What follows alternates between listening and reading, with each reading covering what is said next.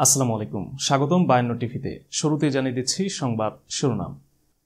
এরদোয়ানের মৃত্যুর গুজব, ত্রিশ জনের বিরুদ্ধে ব্যবস্থা। ইরানের কাছে বারবার পরাজিত হওয়ার পরও আমেরিকার শিক্ষা হয়নি।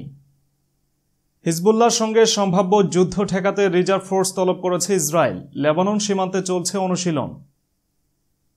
পাকিস্তান বিমান বাহিনীর হাতে ধরা পড়া সেই ভারতীয় পাইলটের পদোন্নতি। তালেবানকে মোকাবেলায় আইএসএ যোগ দিচ্ছে সাবেক আফগান সৈন্যরা। দর্শক, এতক্ষণ শুনছিলেন সংবাদ শিরোনাম। এবারে বিস্তারিত।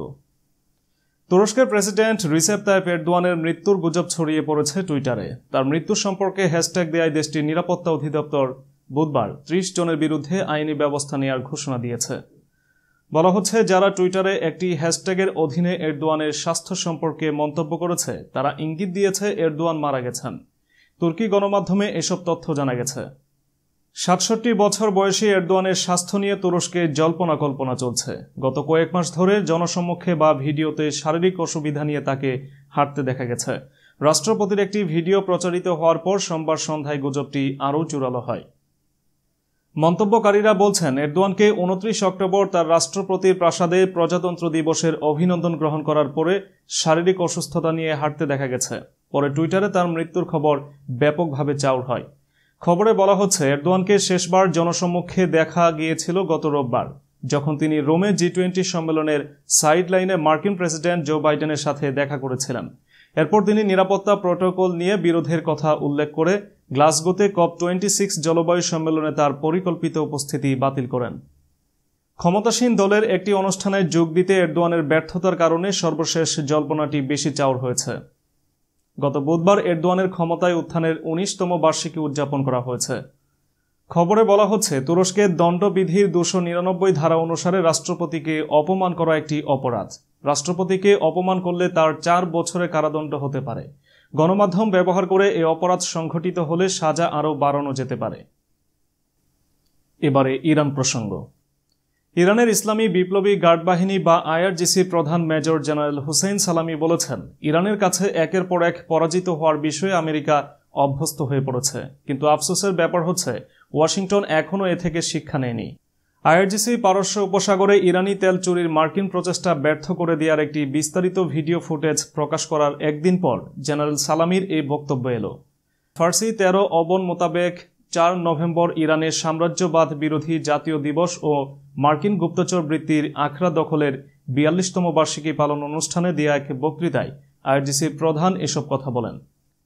উনিশশো সালের এদিনে তেহরানে অবস্থিত তৎকালীন মার্কিন দূতাবাস দখল করে নিয়েছিল ইরানের বিশ্ববিদ্যালয়ের একদল ছাত্র। ওমান সাগর থেকে ইসলামী প্রজাতন্ত্র ইরানের একটি জাহাজ হতে মার্কিন বাহিনী তেল চুরির প্রচেষ্টা ব্যর্থ করে দেওয়ার জন্য ইসলামী বিপ্লবী গার্ড বাহিনী আইআরজিসির নৌ ইউনিটের ভূয়সী প্রশংসা করেন জেনারেল সালামি। তিনি বলেন, গত বুধবার প্রকাশিত আইআরজিসির সাহসিক অভিযানের মাধ্যমে এটা প্রমাণিত হয়েছে যে ইরানের জাতীয় স্বার্থে আঘাত হানার প্রচেষ্টায় লিপ্ত যে কোনো বলদর্পী শক্তির বিরুদ্ধে রুখে দাঁড়াতে এই জাতির সন্তানরা দৃঢ় প্রতিজ্ঞাবদ্ধ। এবারে ইসরায়েল প্রসঙ্গ। লেবানন সীমান্তের কাছে সামরিক অনুশীলন বাড়িয়ে দিয়েছে ইহুদিবাদী ইসরায়েল। তেলাবিব জানিয়েছে, লেবাননের সঙ্গে সম্ভাব্য সংঘাতের আশঙ্কায় নিজের রিজার্ভ ফোর্সের যুদ্ধ প্রস্তুতি ঝালিয়ে নিতে এই অনুশীলন চালানো হচ্ছে। ইহুদিবাদী ইসরায়েলের একাধিক সামরিক সূত্রের বরাত দিয়ে তেলাবিব থেকে হিব্রু ভাষায় প্রকাশিত ইসরায়েল হাইয়ুম পত্রিকা এ খবর জানিয়েছে।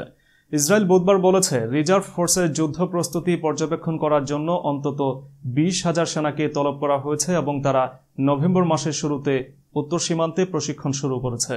যে কোনো ধরনের সংঘাতময় পরিস্থিতিতে ইসরায়েলকে রক্ষা করার লক্ষ্যে রিজার্ভ সেনাদেরকে প্রস্তুত করা হচ্ছে। এই প্রশিক্ষণ পুরো নভেম্বর মাস জুড়ে চলবে বলে পত্রিকাটি জানিয়েছে। এর দুই সপ্তাহ আগে তেলাবিবের একাধিক সূত্রের বরাদ দিয়ে ইসরায়েলি গণমাধ্যমগুলো খবর দিয়েছিল, ইসরায়েলের হাইফা শহরের রাসায়নিক কারখানাগুলোতে লেবাননের হিজবুল্লার সম্ভাব্য হামলার ক্ষয়ক্ষতি রোধ করার লক্ষ্যে সেরকম যুদ্ধের মহড়া দেবে তেলাবিব তবে রিজার্ভ ফোর্সের চলমান প্রশিক্ষণ সেই মহড়া কিনা তা জানা যায়নি।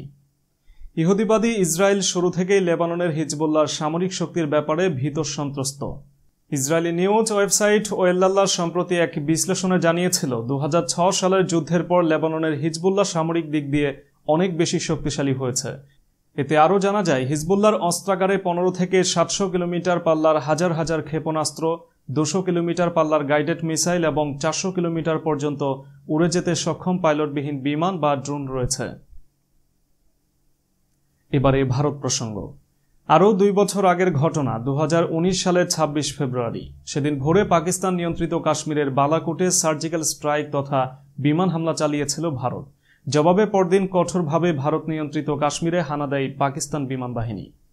সে সময় পাকিস্তানি বিমান ধাওয়া করতে গিয়ে নিজ বিমান খুইয়ে দেশটির হাতে লজ্জাজনকভাবে ধরা পড়া ভারতীয় পাইলট অভিনন্দন বর্তমান। পাকিস্তানে লজ্জাজনকভাবে ধরা পড়লেও ভারত তাকে বীর আখ্যা দিয়ে সম্মাননা প্রদান করে। ওই ঘটনা দুই বছর পর তাকে উইং কমান্ডার থেকে গ্রুপ ক্যাপ্টেনে পদোন্নতি দিল ভারত। এ সময় পাকিস্তানি যুদ্ধ বিমানকে তাড়া করতে গিয়ে নিজের মিগ টোয়েন্টি নিয়ে পাকিস্তানের আকাশসীমায় ঢুকে পড়েন অভিনন্দন। ডগফাইটে অভিনন্দনের বিমানটিকে ভূপাতিত করেন পাকিস্তানি পাইলট। আটক করা হয় ভারতীয় পাইলট অভিনন্দনকে।